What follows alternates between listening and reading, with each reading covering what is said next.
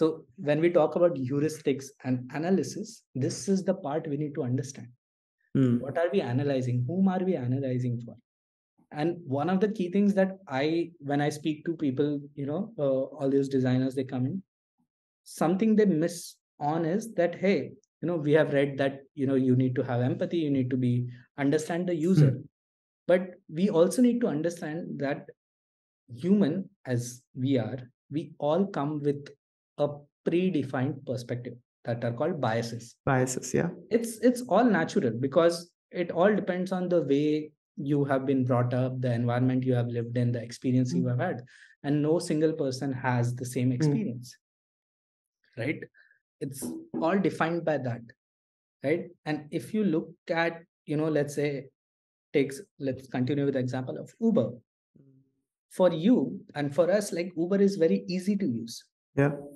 Because well for us when we were growing up for us technology was evolving Mm. right from a black and white tv to a color tv then you know getting that small nokia phone reliance coming into industry and Yeah. revolutionizing Yeah. and we've been around that technology right our parents were in a era like where it's post independence right it's lot more post independence and they were in an era where for them having a stable and strong foundation was important.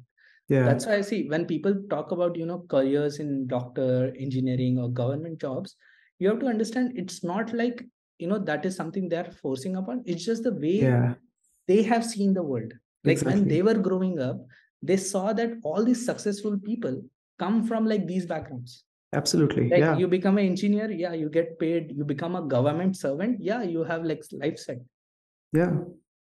it's a bi like you said perspective it's a bias it's a mold that comes in Absolutely. I mean, that is how they grew up, right? Even I relate to it because I had to do some convincing on my part, my parents, because for them, it was, I also come from a background where uh, my dad happens to be the only person who was educated who went to college and whoever worked in a company. And then my mom uh, she did not even complete schooling right? It was and both of them coming from a farming background. So it for them what they have seen is like you said is either doctors either engineers either ye uh, ias ips yeah groups exam lit it's because that were, those were respectable positions back then. Yeah. and that is how they have you know formed their opinions. Like you're saying biases right? Yep. So the same way we also have now in this er, in this era we have a uh, lot of biases. Location lifestyle language music whatever we feed ourselves with somehow forms an opinion. We form an opinion. We have preferences. We have uh, likes dislikes etc etc uh, imagine like in today's age a two-year-old can operate an iphone a touch device fully. Exactly. My my niece i'm living here and my niece is just three years old. She just turned three.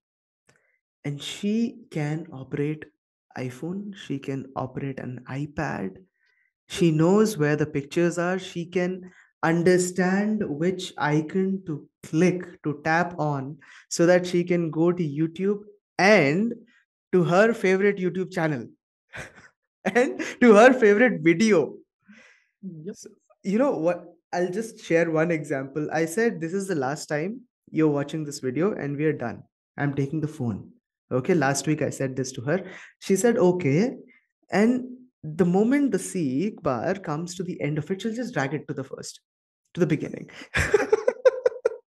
and I mean, I cannot even imagine doing that, just the thought of it. like but see that's the fun part about kids right Yeah. kids don't have biases because they are like they are still you know learning they Yeah. are exploring Yeah. that's where like that when people say you know have a kids mentality. Mm. this is what they mean that you know you need to be able to explore you need to be able to experiment. And in ux when we talk about analysis heuristic analysis i don't know how many people know but there are like 8 to 10 different kinds of uh, heuristic analytics frameworks in market. Like there's yeah. dieter rams uh, principles then there's uh, nielsen norman's like uh, you know the 10 heuristics but all of these heuristics right you can like you can learn a lot of theory you can look at all these things. But you need to understand the key point of doing all the analysis is to understand why certain decisions were made. Mm. why is a user making this decision? Mm. right? Or what is the possibility of the decision that a user would make on this screen or this interface